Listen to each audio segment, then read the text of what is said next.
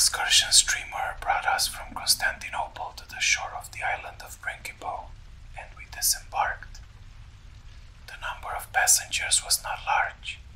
There was one Polish family a father, a mother, a daughter, and her bridegroom, and then we two.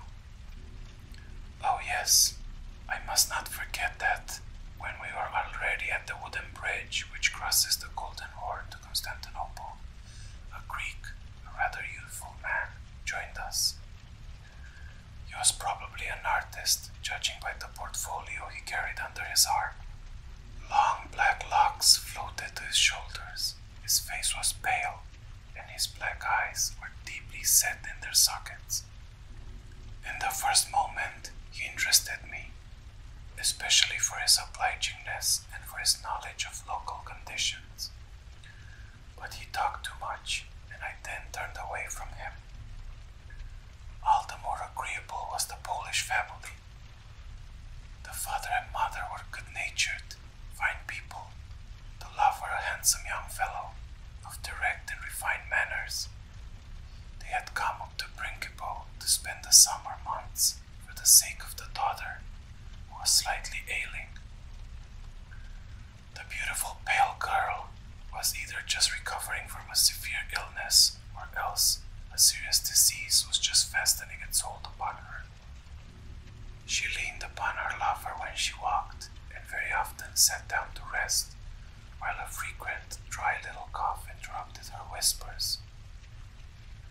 Whenever she coughed, her escort would considerably pause in their walk. He always cast upon her a glance of sympathetic suffering, and she would look back at him as if she would say, It is nothing. I am happy.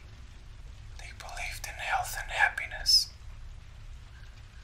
On the recommendation of the Greek, who immediately at the pier, the family secured quarters in the hotel on the hill. The hotel keeper was a Frenchman, and his entire building was equipped comfortably and artistically, according to the French style. We breakfasted together, and when the noon heat had abated somewhat, we all betook ourselves to the heights, where in the grove of Siberian stone pines we could refresh ourselves with the view. Hardly had we found a suitable spot and settled ourselves when the Greek appeared again. He greeted us lightly, looked about, and seated himself only a few steps from us. He opened his portfolio and began to sketch. I think he purposely sits with his back to the rocks so that we can't look at his sketch, I said. We don't have to, said the young Pole.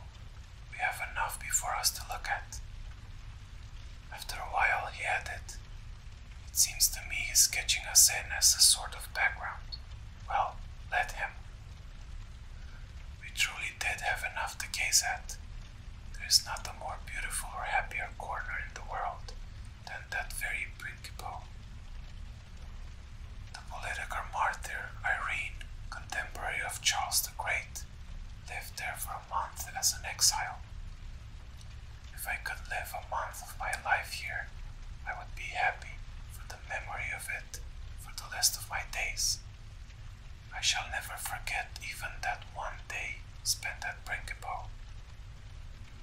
The air was as clear as a diamond, so soft, so caressing, that one's whole soul swung out upon it into the distance.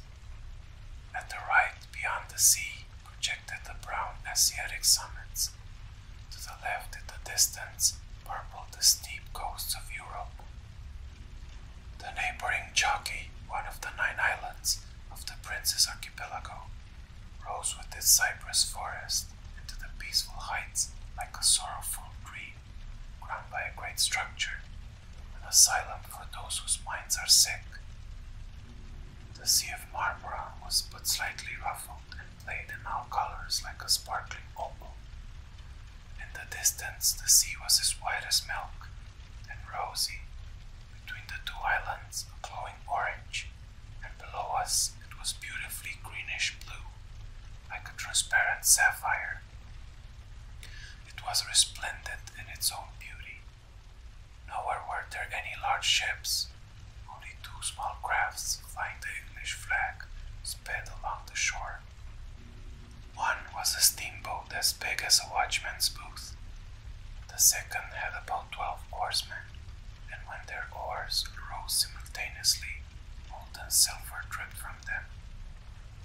Trustful dolphins darted in and out among them and dove with long, arching flights above the surface of the water. Through the blue heavens, now and then, calm eagles winged their way, measuring the space between two continents. The entire slope below us was covered with blossoming roses whose fragrance filled the air. From the house near the sea, music was carried up to us through the clear air, hushed somewhat by the distance. The effect was enchanting. We all sat silent and steeped our souls completely in the picture of paradise. The young Polish girl lay on the grass with her head supported on the bosom of her lover.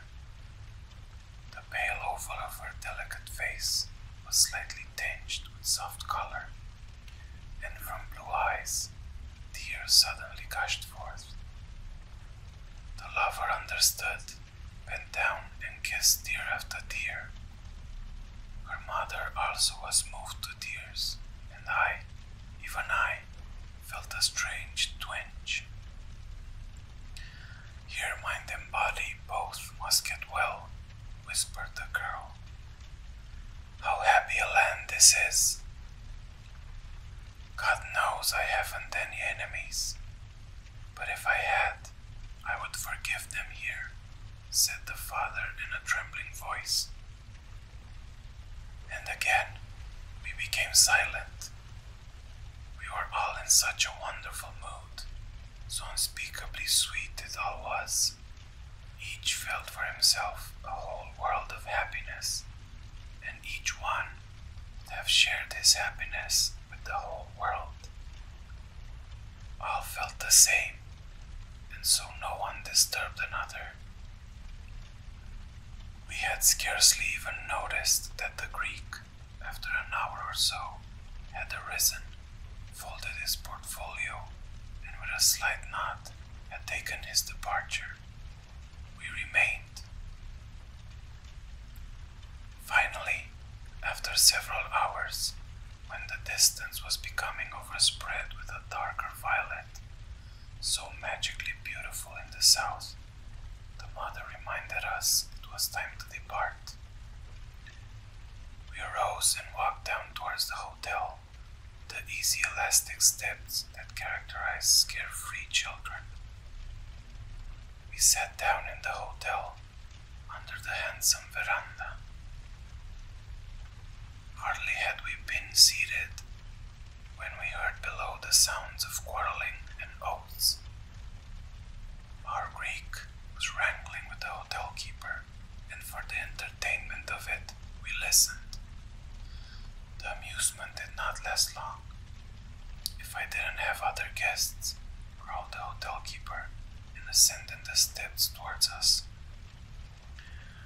I beg you to tell me, sir, asked the young Pole of the approaching hotel keeper.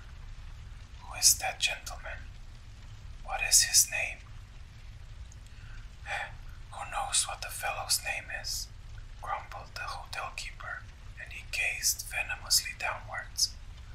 We call him the vampire. An artist. Fine trade. He sketches only corpses. Just as soon as someone in Constantinople or here in the neighborhood dies, that very day he has a picture of the dead one completed. That fellow paints them beforehand, and he never makes a mistake, just like a vulture. The old Polish woman shrieked affrightedly. In her arms lay her daughter, pale as chalk. She had fainted. In one bound, the lover had leaped down the steps. With the one hand, he seized the